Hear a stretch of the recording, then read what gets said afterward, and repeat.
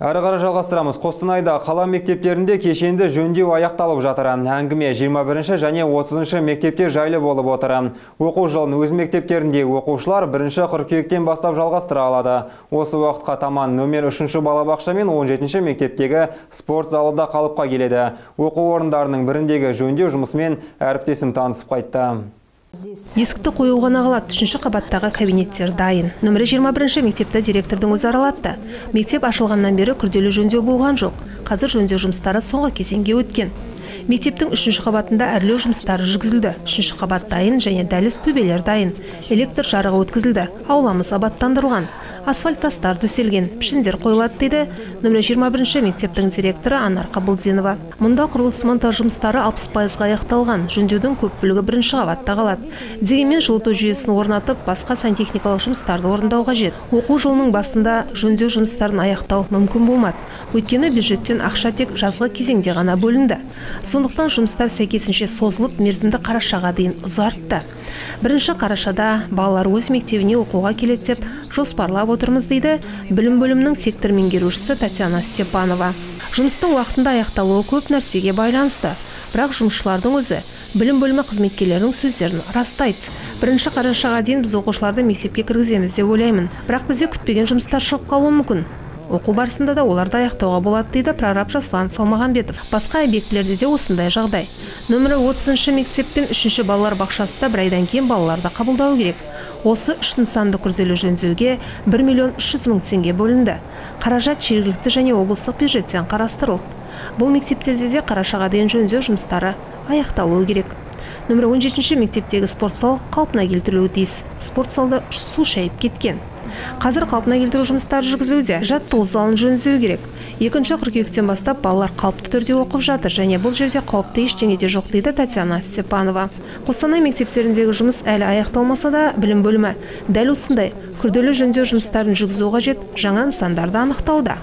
Олар нөмірі 27 балалар бақшасы нөмірі 4 6 және 19 орта мектеп. Техникалық сараптамадан өтті және осы жылдың соңына дейін жобалық сметалық құжаттама жасақталады. Яғни аяқтау сатысында тұр дейді татьяна степанова.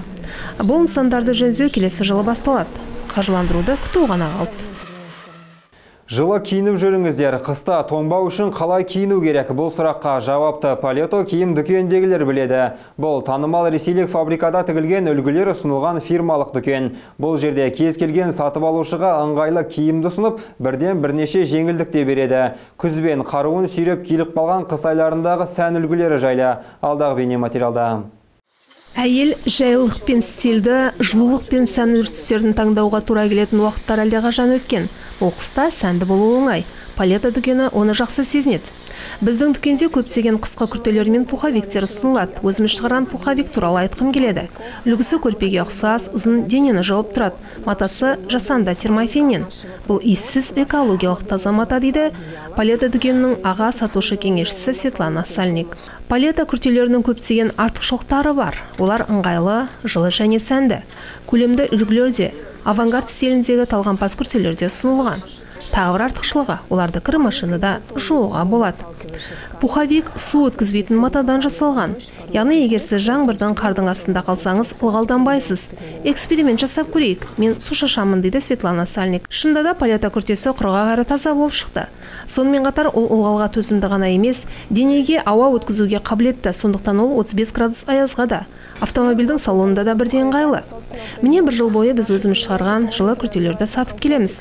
Біздің клиенттеріміз күртелердің әдемілігіне және сапасына қанағаттанады дейді палета дүкенінің директоры дана қуанышәлиева. Қосымша модельдерді инстаграмда а палета нүкте қостанай парақшасынан көруге болады. Қандай да бір бұйымға қаражат салғысы келетіндерге табиғи терден жасалған тондар ұсынылады. Фирмалық тондардың өлшемдері қырықтан алпыс алтыға дейін. Классикалық көгілдірден қара түске дейін және жеңіл реңктер ұнтақ құм сүт графит түстілері бар. Ұзын құлшақты құндыз үшігі велветтен тігілгені бар. Киімнің ашық түсін ұнататындарға олар сәнді түрлі түсті аң терісін ұсынады. Сары шие түсімен безендірілген өте керемет үлгі. Осындай модель ақ түсті капюшонымен бар. Ашық көк мұндай ұзын модель түсі күлгін. Ашық көгілдір түсті дейді сатушылар. Палета терінің сапасына жауап береді. Оны зауыт арнайы аукциондарда сатып алады. Әрбір сатып алушы сатушылардан кеңестер алады. Олар сонымен қатар аң терісін қалай күтетінін түсіндіреді. Бізде әрбір бұйымның пиар коды бар. Осындай құжат беріледі. Қосымша арқылы сатып алушы бұйым туралы барлық ақпаратты оқи алады дейді сатушы. Әрбір сатып алушыға жеңілдік дөңгелегі оған қоса жеңілдік коды бойынша және тұрақты жеңілдік беріледі. Алау көрермендеріне 8207 кодын айту арқылы 10 пайыз жеңілдік беріледі. Палета зауыттары орынбор мен ясныйда орналасқан. Дүкендер ресейдің қалаларында ғана емес сонымен қатар қазақстанда да орналасқан. Палета бұл жақсы жеңілдіктерді беретін бренд. Бұл қостанайдағы фортуна дөңгелегі орнатылған жалғыз дүкен. Соның арқасында сіз қосымша жеңілдік ала аласыз. Алау телеарнасының барлық көрермендеріне 8207 кодына 10 пайыз жеңілдік беріледі. Сондай ақ бүгін палетада қара жұма атты акция өтеді. Жеке алғанда спортта, оның ішінде шайбалы хоккейді ұнататындарды тосын сый күтеді. Дүйсенбі және сәрсенбіде сағат 23.00-де, ал жұма сағат 23.30-да жоғары хоккей лигасы чемпионатының ойындары. Осыған байланысты жаңалықтар мен көкейтесті сұхбат хабарларының кешкі қайталауы сағат 21.00-ге ауыстырылады. Бағдарламалардағы өзгерістер жайлы біздің алау нүкте kz сайтынан біле аласыздар. Осымен бүгінге келіп түскен жаңалықтар легі тамам алау арнасында амандықпен жүздескенше қош сау болыңыздар.